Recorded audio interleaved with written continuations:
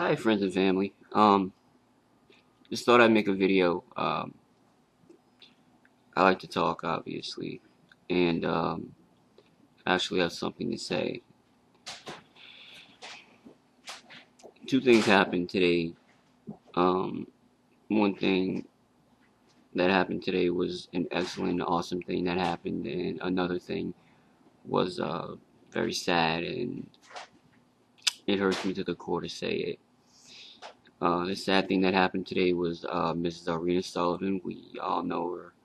Well, those of us who know her know her better by uh, her nickname, Grandmother.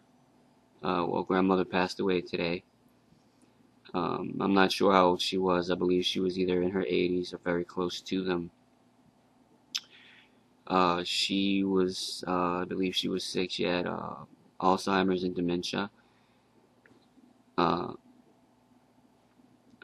Uh, I, I can probably speak for everyone who's ever known grandmother in saying that even though it's very sad that she's gone, it's very comforting knowing that she's in a better place. She's in a place where she wanted to be and a place that she worked very long and very hard to be. Uh, I've never, I don't remember if anyone ever had like an area bad word to say about her. She was always so very soft spoken, just like granddad. And she had a little, her little country accent. And uh, when she talks, she talks really fast.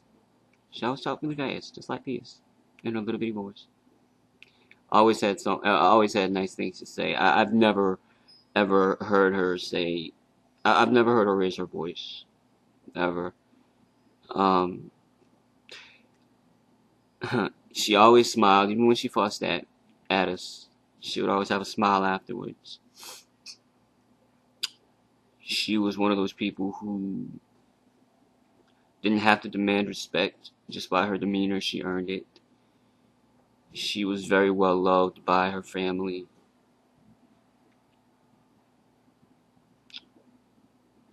Uh, I know, of course, everybody wishes that they had more time to spend with her, and you know, of course, there are going to be people who, you know, are sad because, you know, of course, we could have visited her more, we could have spoken to her more. But I don't believe that she really, I don't believe she held grudges about any of it. I believe that she, she understood that people have busy lives.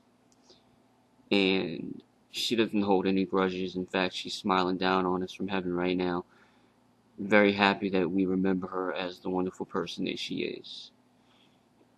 She's exactly where she wants to be right now, and she'll be there for all of eternity.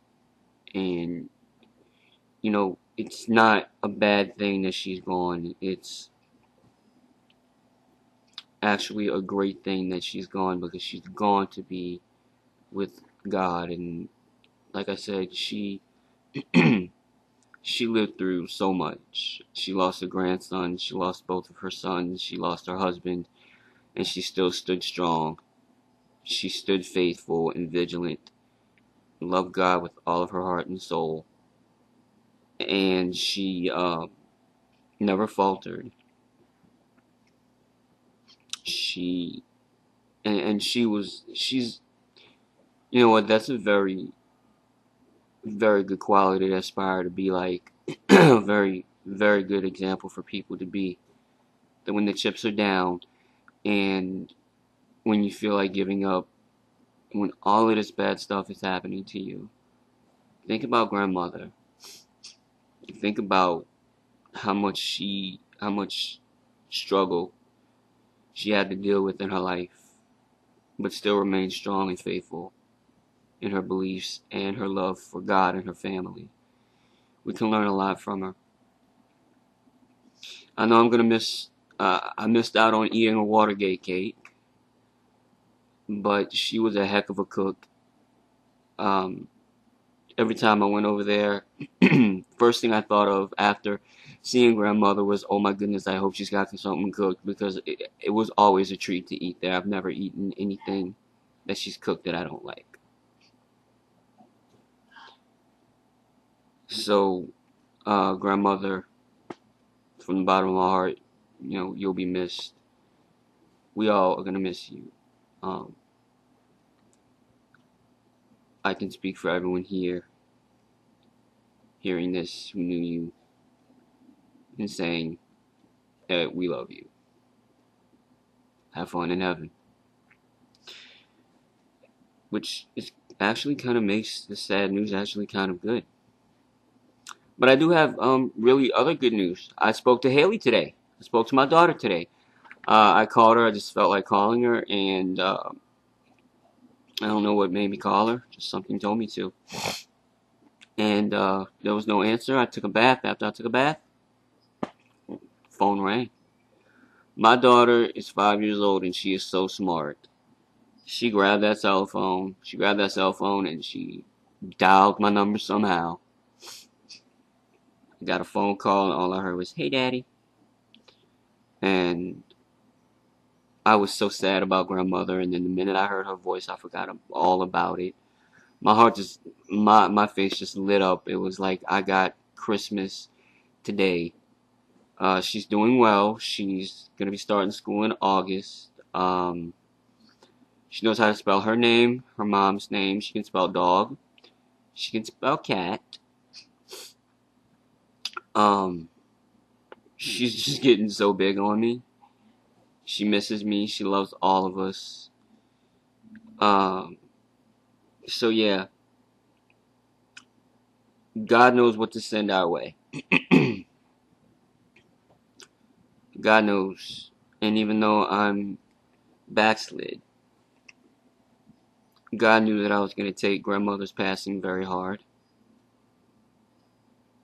So I, I think it was in his plan to um, have what happened happen because it couldn't have happened any other way. I couldn't be more happier right now. so many good things are happening and talking to my daughters. One of them I even spoke to Brittany today and we had a very cordial conversation, very good conversation. There was no no angry words. She's doing well. She's she seems to be happy with her life and that's good. Um, but yeah, I just wanted to tell you guys. I just wanted to say it, put it on Facebook. Um, since you know Facebook is always nothing but negativity. I thought I'd put some. Thought I'd put some happy news, even though there's sad news ahead of it. But I thought I'd put some happy news and actually smile during it. So I got to speak to my daughter today. I'm very happy. I took a bath today. which was probably sorely needed. but today's a great day, and I'm looking forward to what later on today has in store. I'm thinking Haley should call me back. And uh, to be honest, I'm excited about to see what Mama's cooking tonight. So, friends and family, um, you know, keep Haley in your thoughts and prayers, and uh, of course, keep, you know, keep the Sullivan family in your prayers as well. Um, they're going to need them. Grandmother was a very uh, loved woman, and she'll be missed. You know, you, she, she was just a woman that you don't forget. You don't forget people like grandmother in your life being so positive. Um, so, and, and you know, when somebody, when people lose somebody that lovable, not memorable, it tends to hit them way harder, a lot harder than uh, normal.